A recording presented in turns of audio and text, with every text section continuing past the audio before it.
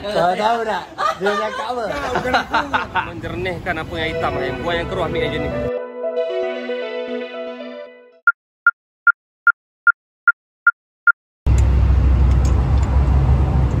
Ni proses nak pasang dia punya mesin.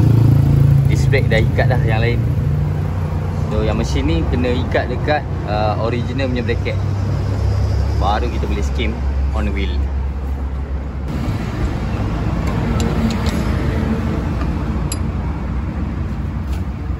Dah Dah.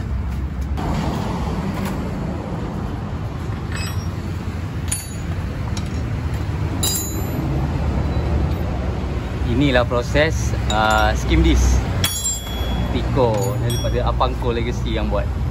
Uh, Tinggal lagi nak final is uh, skim disc lah. So mesti ada orang yang tanya kan berapa lama proses ni? Lama bro. Aku cari barang dia pun dah boleh tahan dah masa Sebab aku nak pakai kaliper Mitsubishi GTO Sekejap ni. Kita dah setting baik ah. Tambah bracket lagi. So tak ada masalah lah kalau display besar lepas ni Tak ada masalah. Wah. Buat datang. Bawa datang kan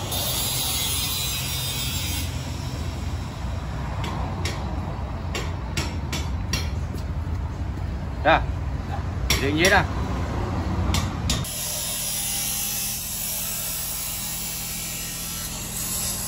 Tak apa lah, pula lah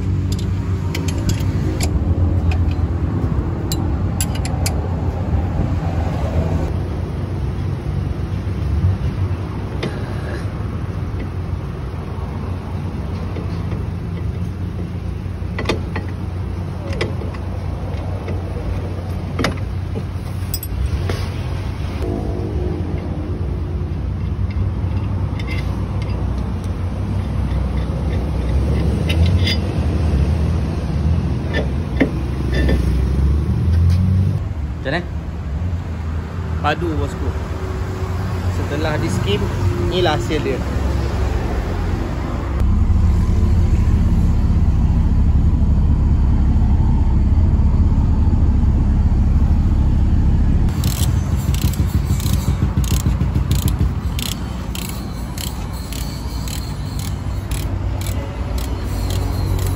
Apa lagi, bye? Skim break dish lah bhai. Okay, tak apa. Toyota Wish. Depan belakang tu. Depan belakang. Oh ni nak depan belakang. Belakang je. Jom kita tengok apa jadi dengan Miraj. Ha? Yang ni dia turun je ke? Ha, biarlah. Bayar je. Ya. Inilah keadaan kereta ni sekarang. Togel. Super top buka. Semua barang buka. Wiper buka. Tengok aku parking kena telur bai. Telur, telur. Telur burung jatuh ke atas tu. Kena. So inilah perubahan yang jadi pada Miras. Ni selepas beberapa insiden yang berlaku dekat kereta ni. So aku parking and then kita buat sikit perubahan.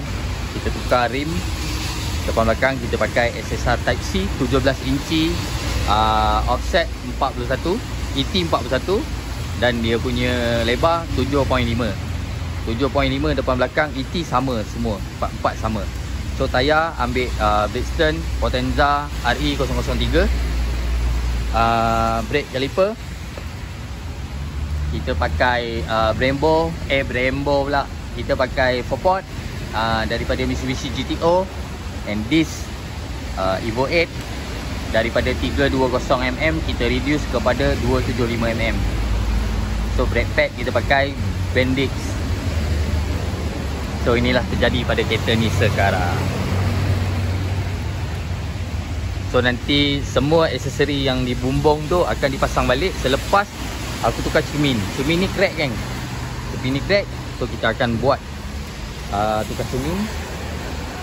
So inilah rupa dia So terima kasih gang Korang subscribe aku punya channel. Tanda sokongan korang. So aku sangat-sangat menghargai uh, Sokongan korang pada aku. So dekat dalam ni Dalam dia Kosong. So semua dah buka. Ada yang aku buat welding tapping uh, Untuk keraskan chassis dia. So inilah rupa dia. Automatic handsome pakai rim ni. Automatic handsome Offset memang ngam So aku study dulu Offset berapa yang aku nak kena beli. Sebab bila aku pakai 4 port ni Aku kena lapik dekat spacer Dekat rim dia. Sebab apa? Sebab uh, rim ni dia akan sangkut dengan caliper. So sebenarnya Kalau nak ikutkan plan asal Bukanlah nak pakai Mitsubishi GTO ni punya caliper.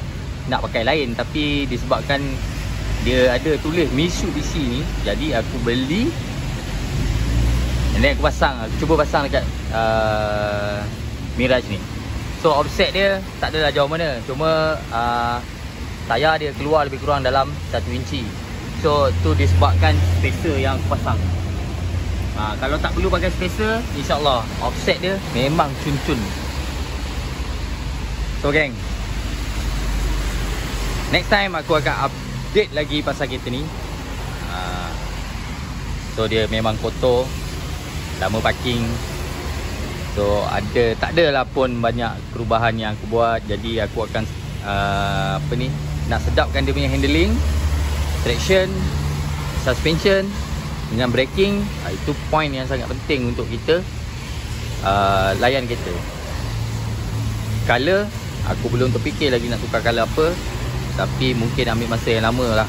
Setakat ni aku kekalkan dulu warna kuning ni Dengan bumper belakang silver tu So aku kekalkan dulu. Dan aku akan pasang dashboard dia. Dashboard dia pun replacement aku dah beli. And then dia punya meter Aku dah beli. Steering aku dah uh, Nak pakai yang original. Memang body ni punya steering. So uh, moonroof dia Alhamdulillah tak ada bocor. Uh, Aku saja je letak dalam hujan Nak tengok dekat mana area yang bocor. So dekat sini kita boleh diagnosis Apa yang kurang uh, Ataupun apa yang perlu buat pada Area bumbung dia. So gang Thank you. And good luck. Stay safe. Stay tuned. Stay at home. Thanks guys